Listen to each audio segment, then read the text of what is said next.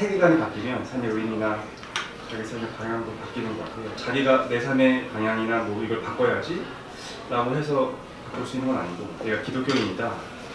그러면 결국에는 어떻게 살아야지? 삶의 의미는 뭐지? 결국 기독교적인 이상으로 수렴하게 되거든요. 그래서 세계관이 바뀌어서 그래도 고민이 되잖아요. 그리고 아무도 한국 사회에 태어나면은 뭔가 얘기해 주는 게 없으니까 어떤 사람이 되냐면 유물론자가 되거든요. 죽으면 뭐 아무것도 없지. 그래서 평생 그렇게 살아오다가 어머니의 영향으로 이제 기독교에 대해서 좀 공부하다가 나중에 철학을 하면서 기독교가 너무 작은 울타리일 수도 있겠구나 생각을 계속 변화하다가 뭐 니체도 접하게 되고 이것저것 접하게 되면서 논리적으로 윤회할 수밖에 없겠다라는 결론에 왔어요.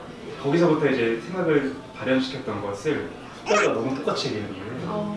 너무 놀랐어요. 숫자랑 인도 철학.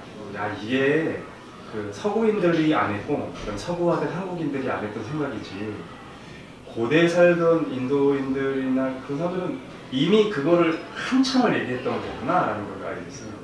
아 꿈이네? 라는 걸 아는 걸 모르죠. 아 잠깐만. 자 이건 뭐예요? 다 허구네? 부질없다. 깨어나야지 라고 하잖아요.